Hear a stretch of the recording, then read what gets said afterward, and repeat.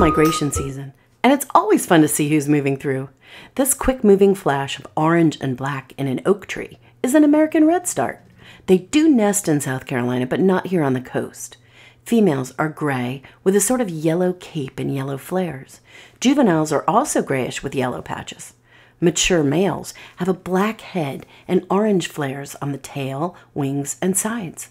As they feed and forage, they flare these tails, creating flashes of yellow and orange. The flashes may startle flies that they can catch in midair. They flit through the branches with astonishing speed, so we feel lucky to get a glimpse of them foraging in the oak.